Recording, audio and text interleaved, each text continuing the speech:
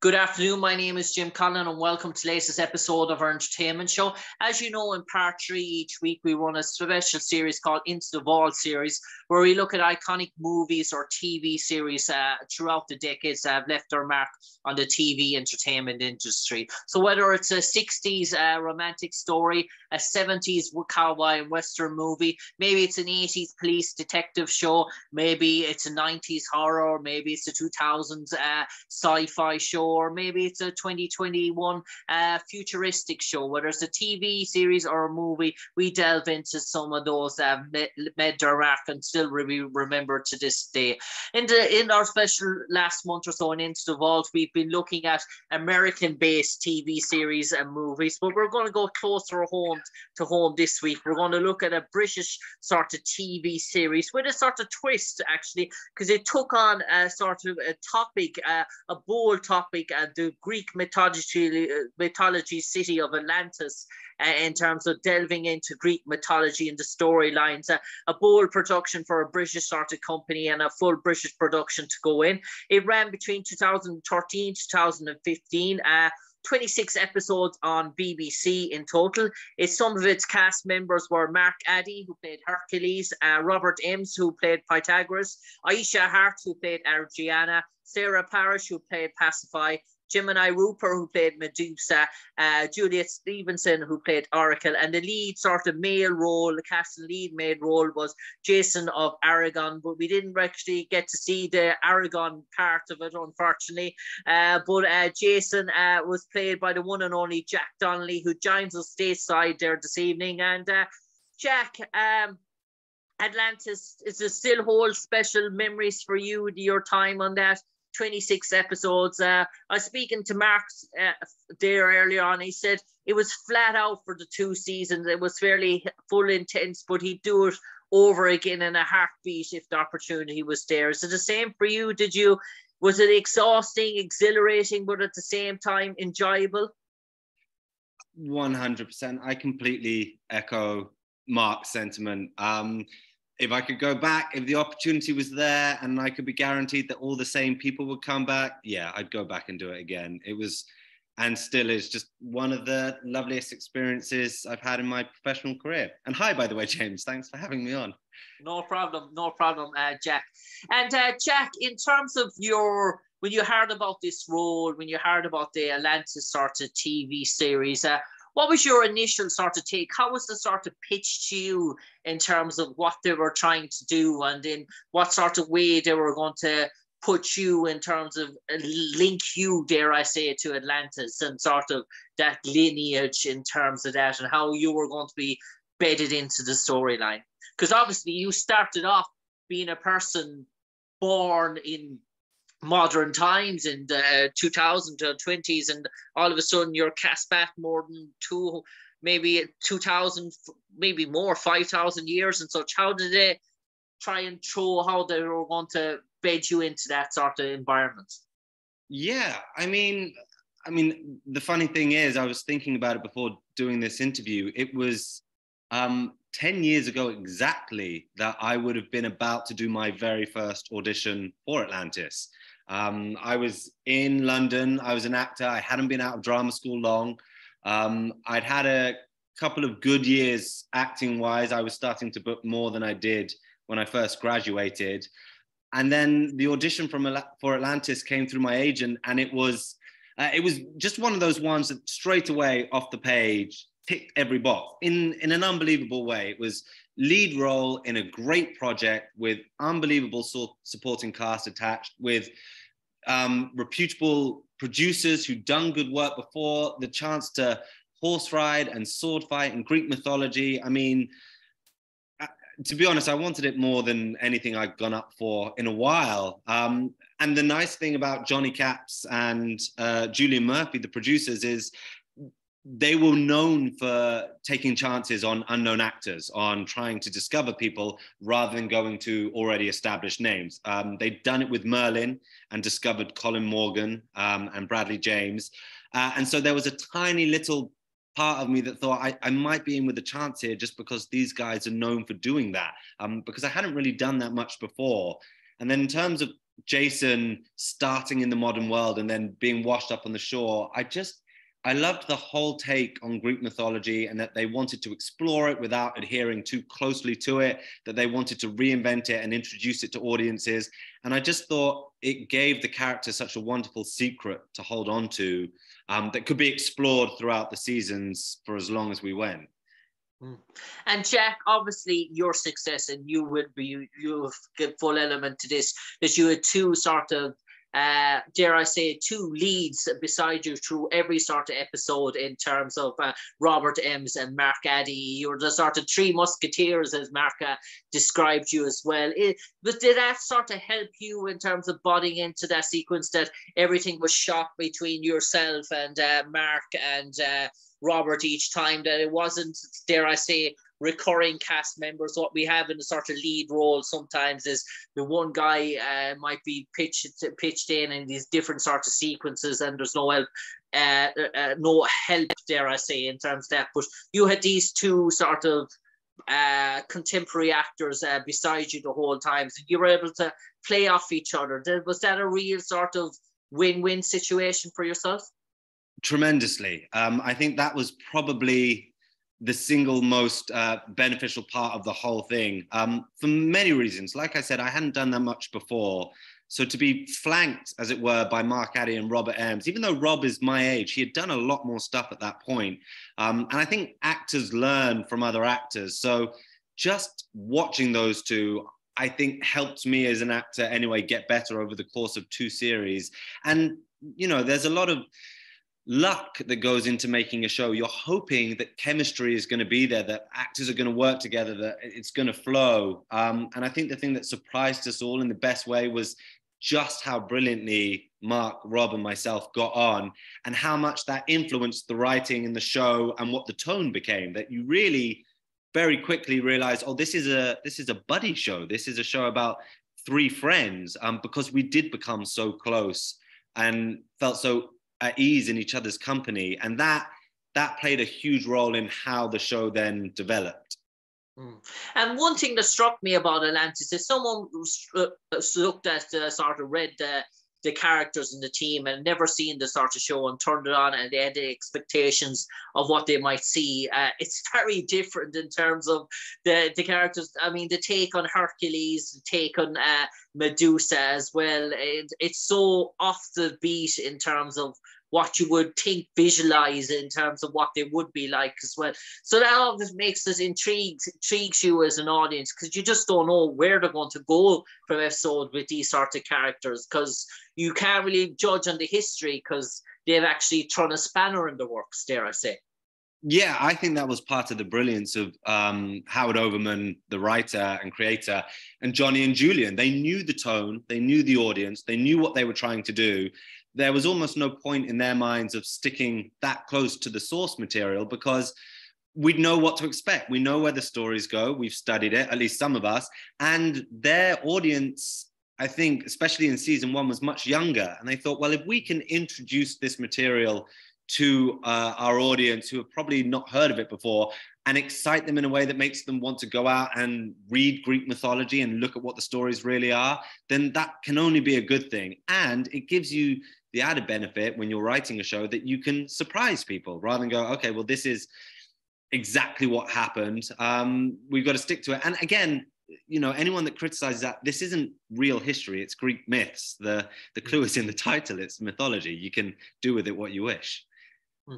That was and my Jack, and Jack, uh, Mark brought an interesting point, and I'm going to bring to Stu. He was talking about the time BBC set for the show. They set it for half eight, but in your eyes, you had probably set it more tea time, sort of uh, taken at five or six o'clock. And they wanted you to, the BBC wanted to be a bit bolder and darker, but you weren't.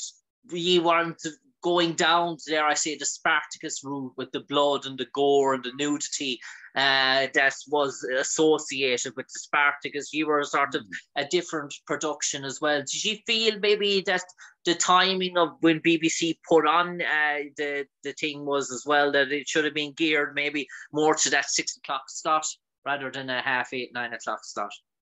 Yes, I, I think. I mean you can look back and you can try and dissect why things happen and things go a certain way and the, about the life of a, of a show. Um, I think this. I think, as I said, Johnny and Julian the producers, they're they're brilliant guys and they're wonderful to work for. And what they did with Merlin was really incredible. But Merlin came out at a time really before streamers, before Game of Thrones, before I think it was before Spartacus, certainly before Vikings. And when Merlin first started, I, I believe it came out at 5:30 in the afternoon. It was a much hmm. lighter, more family-friendly show. And its start time pushed each season as the actors grew and the, the show became darker. Now, when we started Atlantis in the first season, I believe we came out around seven o'clock, 7.30 if memory serves me, which I think is a good time for families to tune in. It's a family drama. That was the show, that was the tone, and it, it worked. Um, but by the time we got to the second season, shows like Game of Thrones and Vikings and Spartacus were really creating waves. And I think the BBC felt, and I don't blame them, that they wanted to go for that audience. They wanted to compete with those shows. Um, and so they pushed the start time, and that led to darker material. It, it, certainly, the second season shifted in tone. And to be honest, from an acting point of view, I really liked it. I liked playing that stuff. I liked the storylines. I liked where we went. Um, but I think, you know, it, it's hard if you're then shifting away from families and going more towards that 14, 15 year old teenage audience. They're already watching Game of Thrones and those other more mature shows.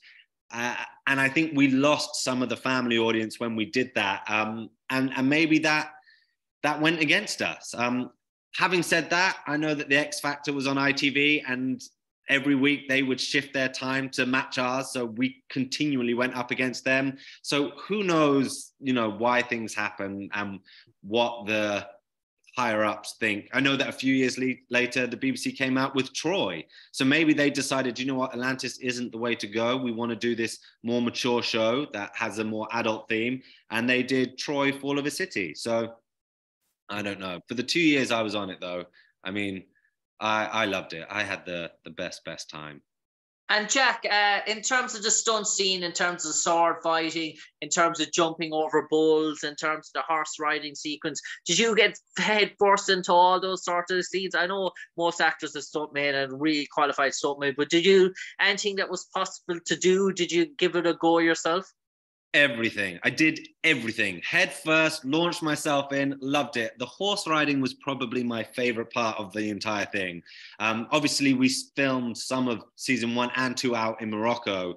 So to be out there riding horses through the deserts was, I mean, dream come true for a boy like me that grew up in the New Forest near Bournemouth and stuff. That's all I ever wanted to do. And we had a phenomenal stunt team um, that was so uh, accommodating and generous with their time and teaching me and teaching me how to move and how to fight. And they let me do pretty much everything, all the flips, all the sword fighting. There was one stunt in Morocco in season one where I had to run and jump off a building, and it was 40 foot up in the air.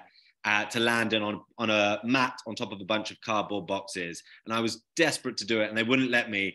And then when I saw the stunt happen, I sort of recoiled and went, oh my god uh, yeah that's uh yeah i don't want to do that. I don't want to do that. Watching it as opposed to thinking about it was very different. It was it was terrifying and I suppose, Jack, I suppose in terms of the, the female leads and in terms of uh, obviously you had a, a real great uh, chemistry with Sarah Parish who played Pasiphae. I, I thought she was outstanding uh, throughout the two seasons of the show. She really stole it. But in terms of the love interest, I suppose it was easy enough to play a love interest of a- a- Aiysha Hart, who played Adriana in terms of that. And uh, were you obviously at a young age? Did you always have much in common? Do you sort of giggle at that sort of sort of the the onset chemistry that you had to take? Did you find it funny and amusing? Yeah, I mean that's yeah, I did. I mean, I liked the, entire cast. Everyone that we had on this was lovely, and again, I think that added to the whole atmosphere. Um, beyond just working with Mark and Rob, Sarah is one of the funniest people I think I've ever worked with. Um, Jemima Rooper is just a dream. Uh, Aiysha is extremely funny as well. And that I think, you know, that was the weird thing. Ariadne, the princess that she played, is not particularly funny, but Aiysha in real life is. Um, so yeah, we would often laugh right up until they were shouting action, and then it would be that moment of very quickly trying to breathe and get yourself together and go, okay, concentrate, concentrate, real acting now, real acting. Um, and, and, it was lovely. It just made the whole two years so easy. Um, and yeah, we had a lot in common. Um, I had a lot in common with Robert Emms. I think you know I just saw him recently, um, and as you said, Sarah Parish. Uh, we've just worked together on another job um, that I was doing. So it was great to be back with her and catching up and uh, laughing all over again. And mm. Peter Jersey, who was in season two. We were yeah. all on something together.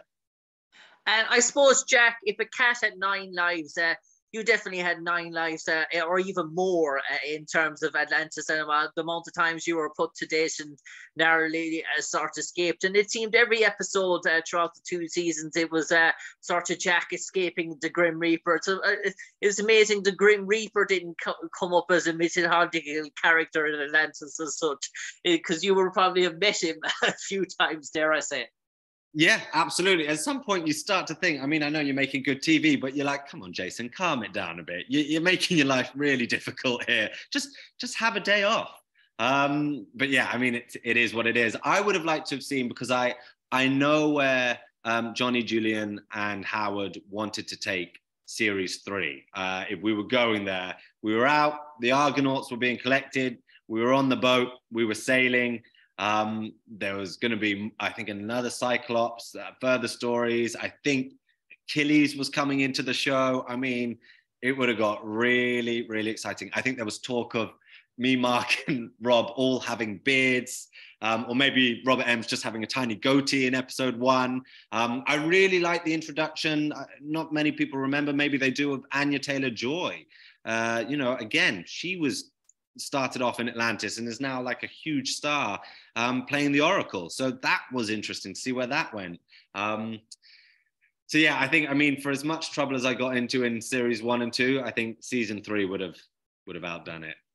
And Jack, obviously, in real life, actually, the character, the the fictional started story, Amy Manson started character who came into it there, but actually, yeah. in real life, her character and Jack actually do in Greek mythology do actually sort of hook up in terms of that, in terms of that. So obviously, that was just, that story hadn't gone away. So obviously, there was they were probably going to a sort of a three-way sort of love triangle in terms of uh, a bitterness sort of thing. I suppose that character was your character I say was going to be very prominent in the the yeah. further two seasons to come as well.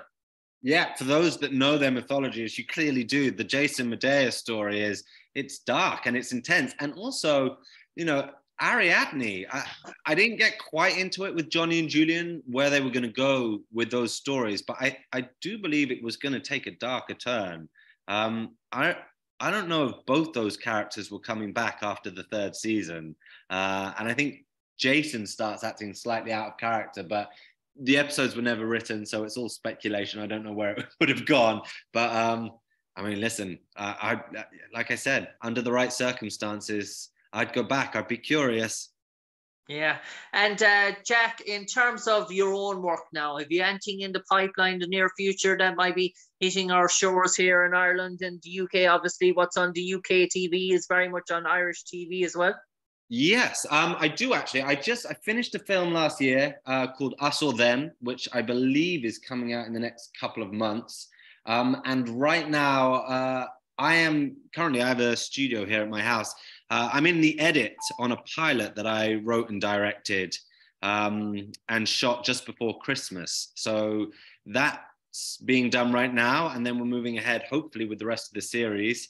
Um, I can't say much more than that because uh, the people that financed it are putting out a press release, I think, in in a week's time. But yeah, so right now I'm up in a studio with an editor, choosing between different takes and cutting something together that I wrote. And uh, Jack, was final two questions now, and I've asked Mark and I asked Jemima these two questions. If you saw Jason coming down the street against you and he passed you by and you were there, was uh, your your wife or your sister or your mother or, or your brother, and they asked you, Jesus, uh, Jack, you played uh, that character, Jason. What's he sort of like? What type of a dude is he? How would you describe him in terms of what type of a guy Jason was? Um, honorable through to his core. Um, someone that just fights for the underdog and for things to be fair um, and a little bit goofy. I think that's what he is. I think. Um, do you know what? What I what I loved about He's innocent, is he?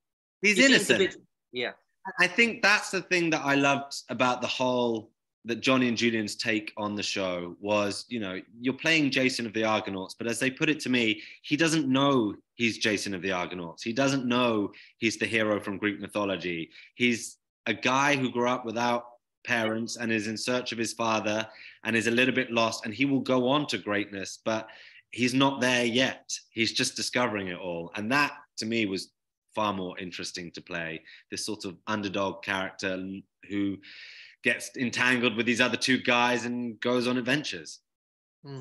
and finally jack uh, in terms of this i had heard stories from mark and i heard stories from jemima in terms of uh, funny takes uh, in between uh, shootings or sets or running sort of gags in, in terms of uh, Atlantis. If you have any sort of story that you would like to share with us, doesn't have to involve you or maybe involves one of the other sort of cast members from your time and uh, this strikes a memory with you even to this day that still makes you laugh and still makes you resonate when you think of them or when you think of your time on Atlantis.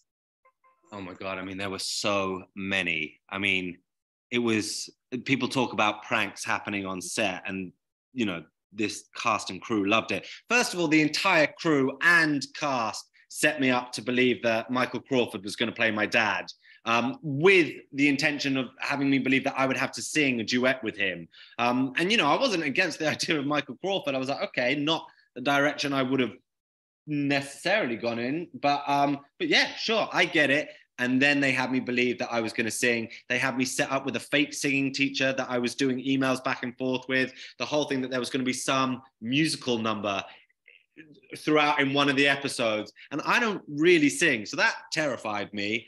Um, and then I know Mark just, this is going to sound so immature. It's so immature, but he wet willied me in so many takes, just licked his finger and stuck it in my ear um, the whole time. And then I, on the blooper reel, you'll see. I mean, this is probably too much information. There's a scene where Mark is supposed to be asleep, and then I just snuck into the back of shot and licked my finger, and it was covered in drool, and then stuck it in his ear. And you know what? Here's another one. I had a painting commissioned of Robert Emms running through the desert in Morocco uh, in nothing but a dressing gown and his skivvies because he did that one day when we'd finished um, shooting in a lake I took a photo on my phone of him running across the desert and then had a friend paint it and gave it to him as a present. But I had the painting put up in the back of a scene while he was in the shot so that everyone could watch it while he's delivering this really meaningful monologue. And behind him is just him streaking through the desert of Morocco. I think he's still got that painting. Yeah, yeah, yeah, yeah. You definitely were a bold cast, anyway. That's for sure. Uh, yeah. Uh, definitely, the stories Jim and I taught me as well It was a bit dark as well, and uh, yeah. dare I dare I say anyway. So you definitely pulled out all the stops, anyway. That's for sure. Uh, Jack Donnelly, a pleasure talking to you this evening to relive your memories of facing playing uh, Jason of the Ar- Argonauts, uh, Jason of Aragon, during your time of, in Atlantis, appearing in 26 episodes between 2013 2015. Pleasure talking to you, Jack. Hope the project goes very well for you in the near future. Stay safe, take care, and God bless. James, thank you very much. Take care. Okay.